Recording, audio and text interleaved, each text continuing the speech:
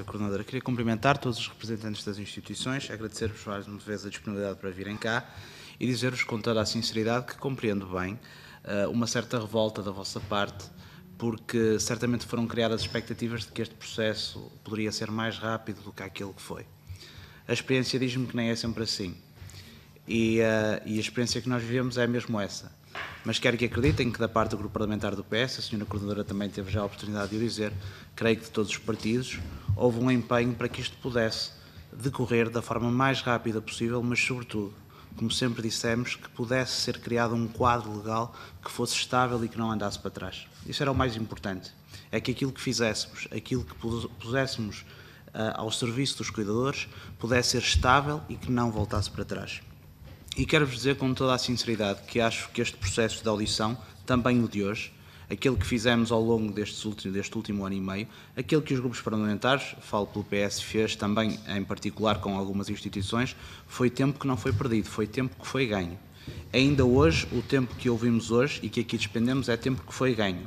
E todo o trabalho que fizermos em conjunto neste grupo de trabalho até final será tempo que não é perdido, é tempo de aproximação e é tempo que será naturalmente ganho. Queria deixar uma nota relativamente àquilo que é também a própria, a própria análise que fazemos uh, das propostas que estão uh, em discussão. Uh, eu confesso que, e o que, pelo que percebi, percebo ainda hoje por parte de, de alguns grupos parlamentares, mas também dos, de, das entidades que aqui hoje estão a ser ouvidas, que há de facto uma vontade de que este conjunto de normas que estamos aqui a apoiar no caso do Governo, que as denomina como medidas de apoio ao cuidador, percebo que há uma vontade das eh, instituições de que lhes chamemos estatuto. Percebemos isso desde o início, percebemos também que há alguns grupos parlamentares que o fazem.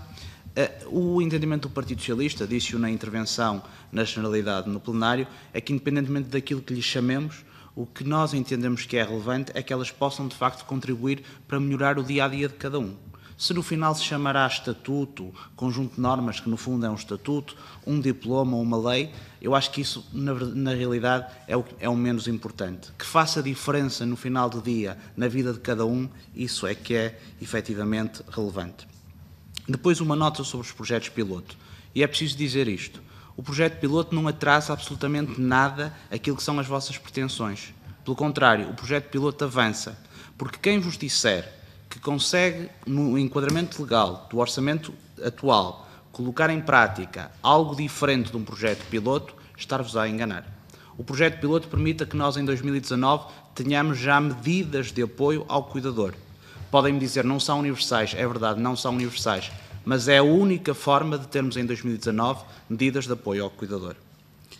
Uma, uma última nota relativamente àquilo que são aquilo que são eh, os, os, uh, as, as, questões de natureza substantiva.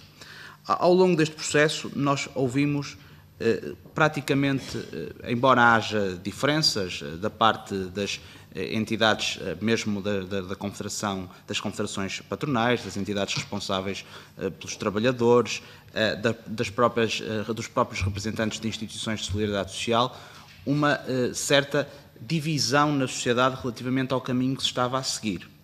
E aquilo que o Parlamento e o Governo em particular fez foi, muitas vezes, sem o apoio e o suporte de algumas instituições que foram ouvidas, ir ao encontro daquilo que eram as vossas pretensões. E fê-lo porque achavam que era o caminho que deveria ser feito. Mas esta ideia de que há uma unanimidade relativamente ao estatuto do cuidador informal na sociedade não é bem assim. E acho que esse deve ser também um papel valorizado. Por último, dizer que das notas que nós fomos tomando ao longo de todo este processo, havia cinco matérias que eram particularmente eh, descritas por parte das instituições representativas dos cuidadores. A necessidade de haver uma prestação social para o cuidador, a necessidade de implementar benefícios fiscais, a necessidade de reconhecimento do tempo de serviço que os cuidadores faziam que os, eh, os cuidadores eh, colocavam ao serviço das pessoas ou da pessoa cuidada, a necessidade de proteção social e conciliação laboral e, por último, a capacitação, informação barra apoio psicológico. Poder-me dizer, a proposta do Governo não, con, não consigna de forma específica a totalidade de, destas matérias, ou seja, não, é, não concretiza de forma absoluta aquilo que eram as, a expressão desta vontade que os cuidadores tinham. Mas a verdade é que não o fazendo, não o afasta. E, portanto, este conjunto de normas que nós estamos agora a fazer permitem, por exemplo, ao nível da prestação social, ao nível do reconhecimento do tempo de serviço, designadamente a carreira contributiva, dar já passos concretos. E todas as outras matérias que estão aqui, não por não estarem concretizadas, não significa que não estão fechadas. Elas serão fechadas em regulamentação posterior e naquilo que o Partido Socialista entende que é determinante, que é precisamente no que diz respeito à proteção social Vou e à proteção laboral e à pedir conclua, laboral. por concluir, favor. Sra. Presidente, em sede de concertação social, porque o Governo, quer queiramos, quer não queiramos, quer acreditemos que é o nosso ou não, é o Governo que representa todos os portugueses. E nessa sede também, naturalmente, fará o trabalho de defesa de todos os portugueses e dos cuidadores. Obrigado.